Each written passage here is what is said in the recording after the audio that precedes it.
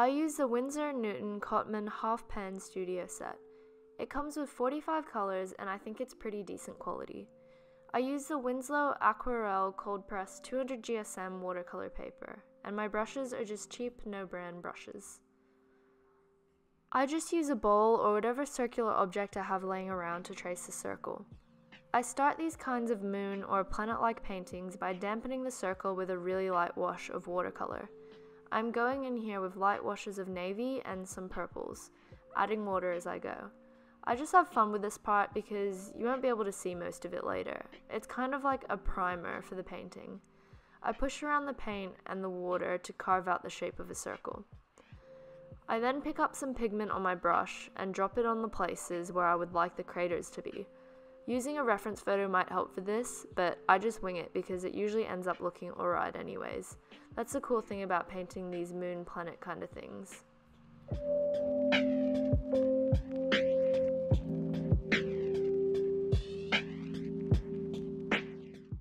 I like to clean my brush and drop water droplets in places because it plays with the pigment nicely. I kind of switch between that and dropping heavy pigment. I'm kind of just going with it here. When I paint these moons, I try not to think about it too much. I kind of just let however I'm feeling flow out of my paintbrush and let the canvas take me wherever it wants to. Just dropping pigment here and there and letting it bleed out.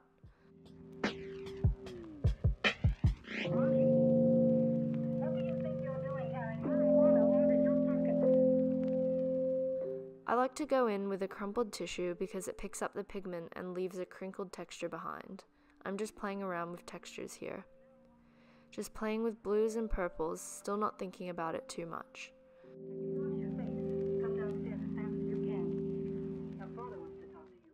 Going in with a clean, dry paintbrush is also a great way to pick up pigment and get the white spaces back, which is what I'm doing here. Just dropping water in random places again. All of these strange things I'm doing come together to bring nice depth of layers and interesting textures in the end. I'm kind of just repeating the same processes over and over again, building up the layers.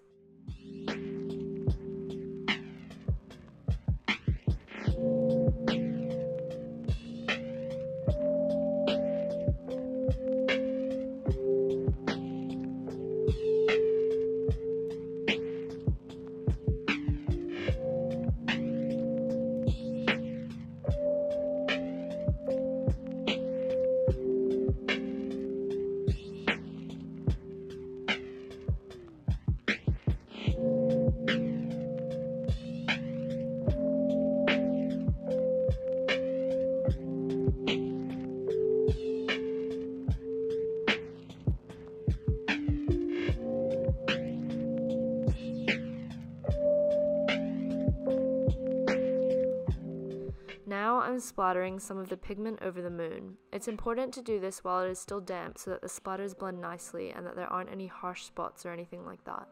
Now for my favorite part. I'm just sprinkling a very very light pinch of salt over the canvas. It's important not to do too much, else it will ruin it. What the salt does is it draws in moisture, which plays with the pigment in the most interesting way. After the salt has drawn in most of the moisture, I go back in dropping pigment in the areas where I want the craters to be, blending out any harsh lines from spots that have already dried up with a wet, clean brush. Now I'm going in with some brighter pigments of blues, purples, and violets just to add an interesting pop of color.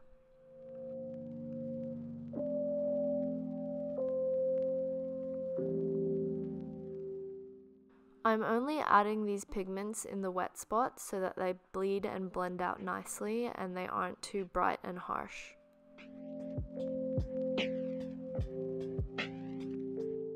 Now I'm just carving out part of the circle with some darker colors to give dimension to the round shape. I'm only focusing this on one side.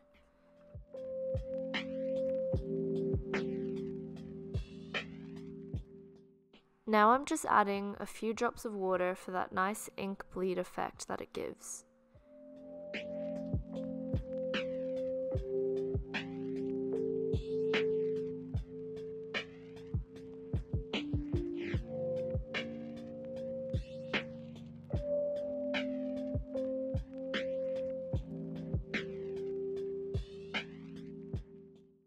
I'm just going in with a crinkled tissue again to bring back those layers of white paper with that nice texture.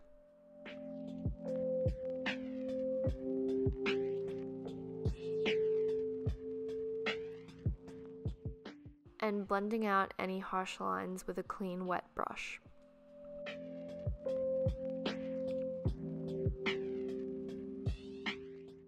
I'm just going in with some white watercolor paint now. This adds a nice and subtle translucent layering effect.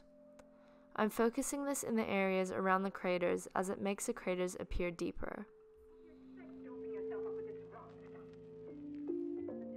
And now I'm going back in with a clean dry brush which helps to really accentuate the whites in the highlighted areas. Once that's a little bit dry, I went in with my white Uniball Signo pen and just drew some little dots and stars and sparkles.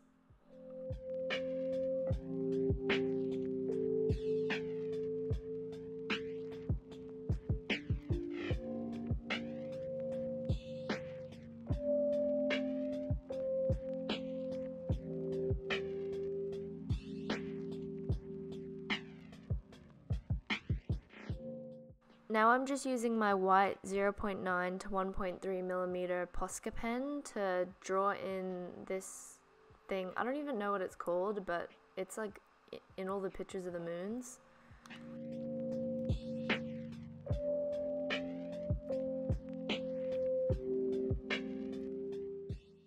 And then I'm just doing another little one of those down here.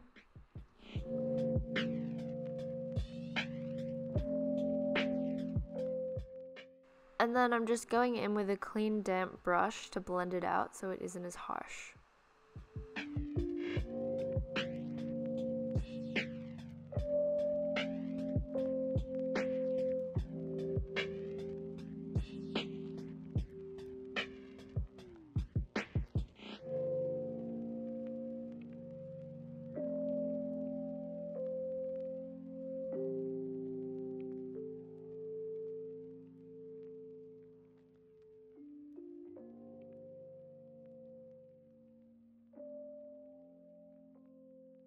I don't have any white ink or white acrylic paint, so I'm actually using the ink from one of my old Posca pens.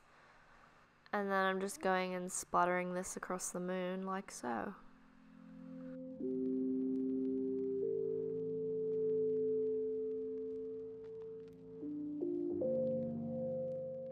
And that's about it.